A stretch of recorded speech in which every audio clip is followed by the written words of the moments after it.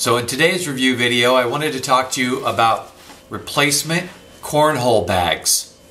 So we had a party, went to the local store, bought a cornhole set, and you know, used it and had a good time with it. Well, one thing kind of got missed was the bags.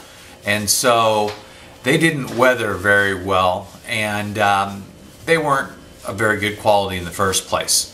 So I had to uh, go online and order some new cornhole bags. So we've got these ones here and um, basically tried them and they work really nice. They fly really good and they uh, have a nice weight to them. They, to me, they felt like they might have been just a little lighter than what I had before.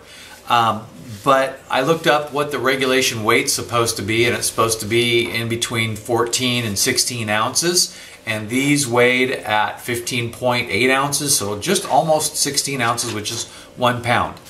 So there was a bunch of different combinations. The ones that I bought were these two. They stand out really good for me. So this is a red royal blue combination. And the bags are 6 by 6 which is also standard regulation size.